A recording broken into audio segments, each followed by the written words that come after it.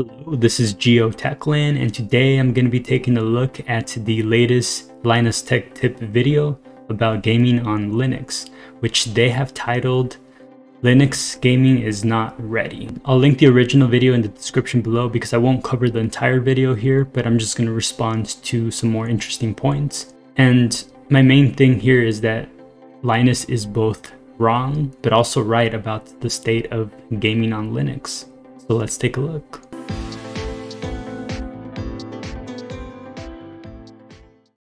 Are a plethora of reasons to transition your daily driver gaming rig over to Linux. You could be sticking it to the man. Or wanting to support the open source community. Maybe you daily drive Linux for work already. And all your games are natively supported anyway. Or maybe you just want a new and challenging hobby. But if what you want is a simple, painless gaming experience, then let this be a cautionary tale. One of trials, tribulations, and of course, sponsors.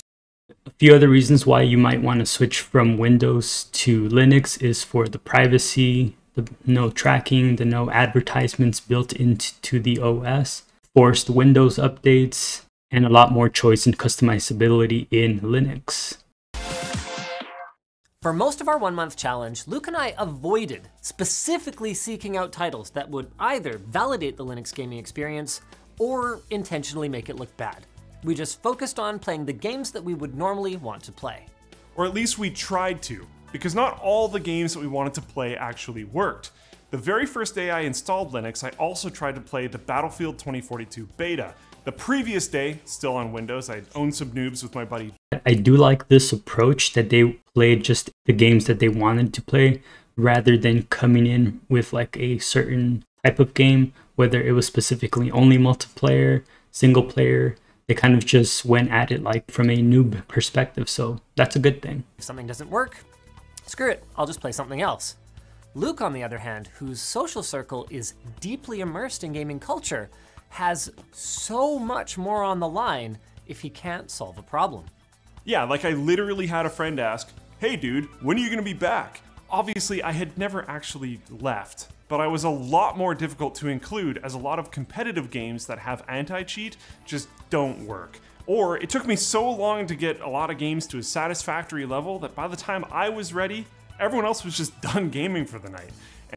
This is a fair point. In my experience streaming and playing multiplayer games or trying to play multiplayer games on Linux with Windows users, they have to ask, hey, we want to play this game or we're thinking of playing this game. Does this work on Linux? And then I have to go to ProtonDB to check and then be like, oh yeah, this works or this game doesn't work. And so that's kind of been uh, an experience there. But from my perspective, at least, it's not too disappointing because there's enough games that work that we just find a different game to play. So, but I could totally understand that that could be frustrating for some users. And as a lot of my friends like to just try random games out for fun, this actually happened a lot. Our goal is not to spread FUD about the state of Linux gaming though, so it's time to get specific about some of our less good experiences. First up is Steam, or rather, not Steam. Valve's goal of reaching 100% compatibility with the entire Steam game library is admirable. Actually, incredible. As noted by this here Reddit post, the Steam game library is chock full of amazing gaming experiences from AAA studios and indie developers alike. But it's also not the silver bullet that it would have been 10 or even 5 years ago when nearly every game worth playing was available on Steam. Half of Twitch's top 20 games, at least at the time of filming this, are not on Steam. And I know being a popular game to stream doesn't necessarily mean it's popular with random gamers out there, but these are all very big name games. And being on Steam isn't an automatic win either. Look at Apex Legends and New World, both massive games, both listed as borked on ProtonDB. This is a very critical point that, yeah, it is true that for streaming specifically, or games popular on Twitch, a lot of them don't work on Linux, not with easy anti-cheat or some crazy workarounds. And even if we were to get full compatibility on Steam with Steam games, a lot of those popular multiplayer games won't be playable out of the box at least. And as they point out, even some games that are currently on Steam, like Apex, don't quite work yet. So it's not the silver bullet as they say, but I guess the part that they sort of don't emphasize enough is that it's still a massive achievement that most of the games on Steam work, and that for a lot of people, that may be enough. Obviously, if you're into multiplayer games that are popular on Twitch, Linux is not for you, at least not yet. And so, yeah, if, if you primarily game on Steam, and let's say you don't really play multiplayer games, then you'll be fine. And that's the whole thing with this video being both right and wrong about Linux. I think the title is somewhat misleading, but I get the point that they're making. Native Linux games are obviously going to be your best bet. Want to try one of my personal favorites, Crosscode? Click Install, click Play, and as simple as that. In addition to that, while not necessarily native, I played Legion TD2, Towerfall Ascension, Faster Than Light, Slay the Spire, Path of Exile, and Rust, and they all worked perfectly with zero actual effort. The next tier is Windows native games that Valve officially lists as Linux capable via Steam Play. But before we go any further, I just want to say massive respect to the incredible teams who have worked tirelessly to make running Windows games on Linux possible. Valve's Proton compatibility layer is amazing. It's forked from Wine, which has been multiple decades in the making, with about half of its source code written by volunteers. That's freaking wild. And of course, honorable mentions all around for the dedicated communities that maintain tools like Lutris, which automates hacky workarounds for newbies, and ProtonDB, which serves as both a troubleshooting resource and a reference for which games work so you won't have to waste your money on a bad experience. With all of that said, in spite of so that's good that they do stress that in the video. A lot of people have been working on bringing Windows games to Linux, and just so that people get a sense of the trajectory where this is going. Even if someone comes away watching this video and thinking, wow, Linux gaming sucks, they can kind of see that, hey, you know, there's so many people working on it. You've got Steam with Steam Deck coming out.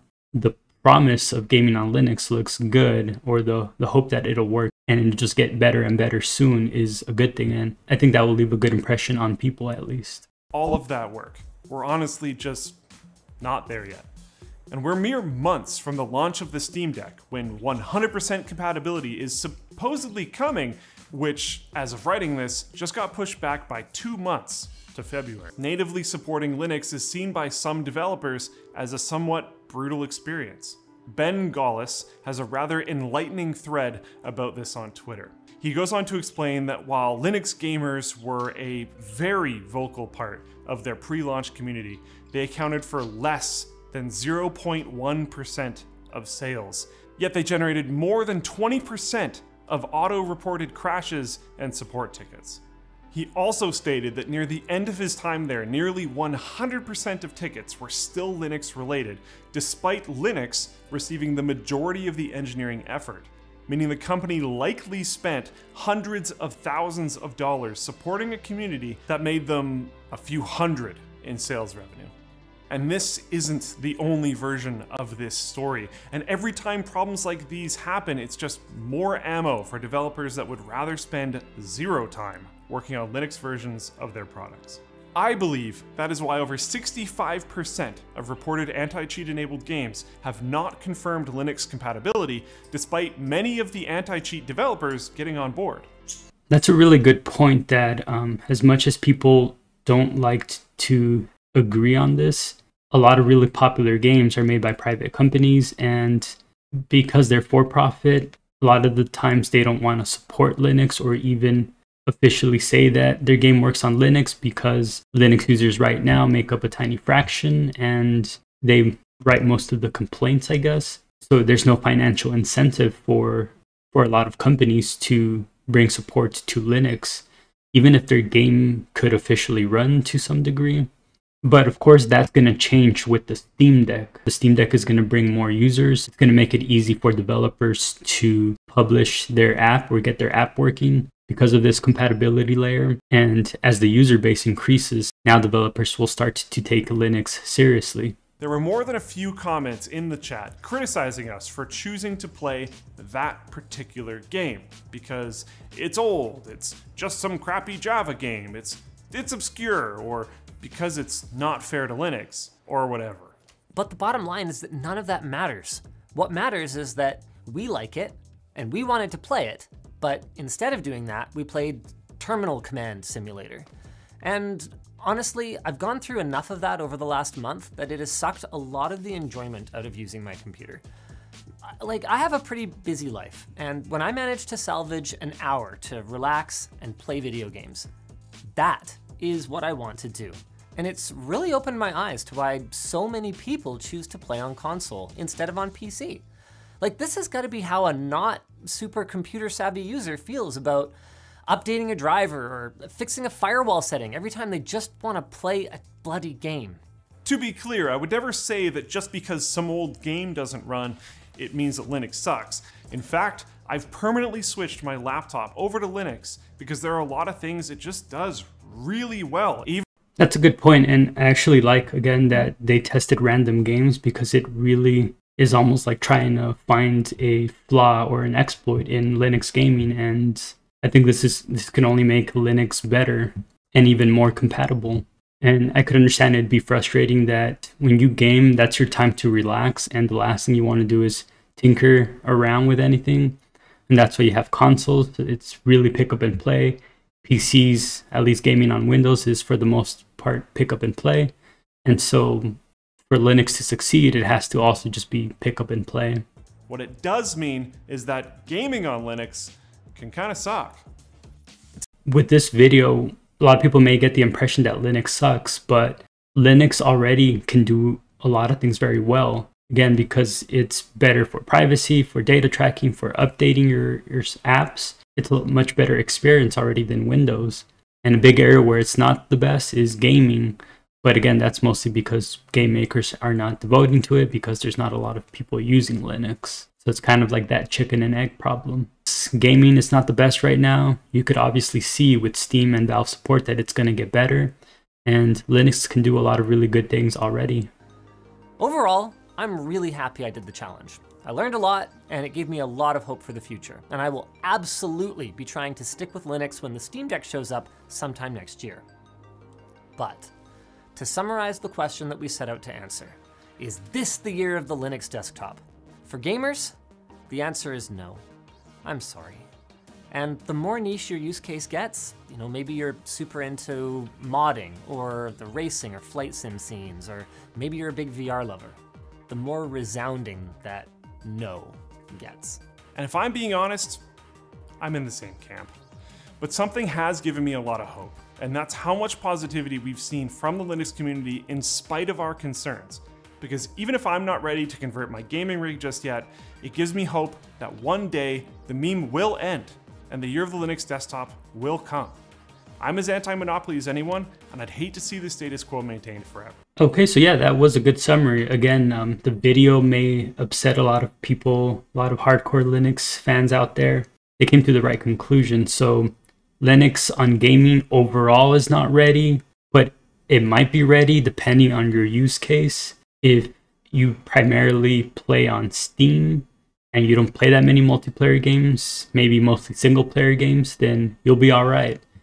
If, on the other hand, you want to be like a Twitch streamer, then you're probably going to run into issues playing a lot of multiplayer games, but not necessarily. You know, it's you're going to have to pick and choose really because I've been streaming and playing multiplayer games, and I think part of why I'm not too disappointed with it yet is that it's my own bias that I kind of know not every game is going to work, and so the expectations are different. But I've been able to play some games like Among Us, Phasmophobia, the Crab Game, which is a Squid Game inspired game. New games like Valheim work fine. So I've been able to play a lot of games. And uh, of course, you know, feel free to subscribe and catch me streaming some games.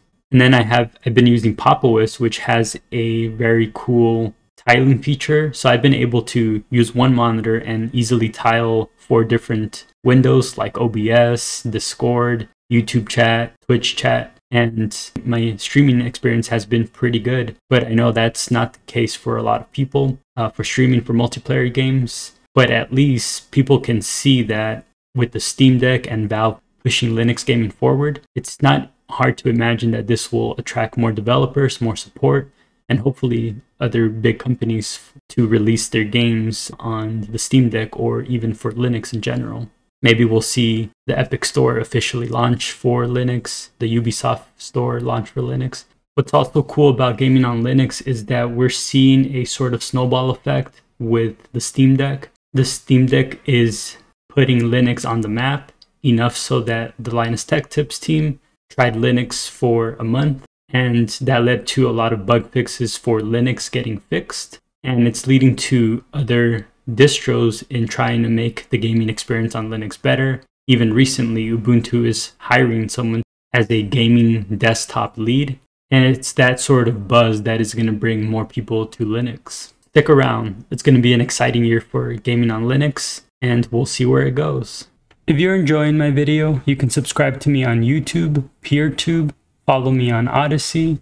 You could also support me on Liberapay, Patreon, and by shopping at Earth Hero. See links in the description below.